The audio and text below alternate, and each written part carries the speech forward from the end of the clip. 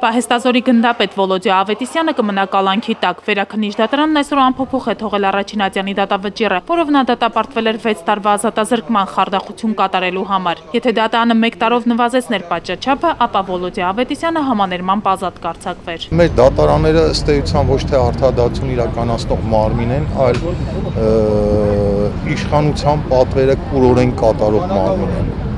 ընդ որում անտեսելով նաև իրենց իսկ կողմից ստեղծված նախադեպերը Առաջին ատյանի ու այսօր արդեն վերաքննիչ դատանի որոշմամբ Վոլոդիա Ավետիսյանից հոգուտ պետբյուջեի պետք է բռնագանձվի 2000 ամերիկյան դոլարին համարժեք դրամ։ Փաստաբանը սա համարում է անօրինական։ որևէցե նորմով օրենսդրական նախատեսված չէ, այսպես ասած հանցագործության պատճառված վնասը հոգուտ պետբյուջե բռնագանձելու վերաբերյալ լիազորություն Իսկ դատանի բակում հավաքված ազատամարտիկները շարունակում են հայտարարել, որ Վոլոդիա Ավետիսյանը հետապնդվում է իր քաղաքական անհնազանդության համար։ Դատարանները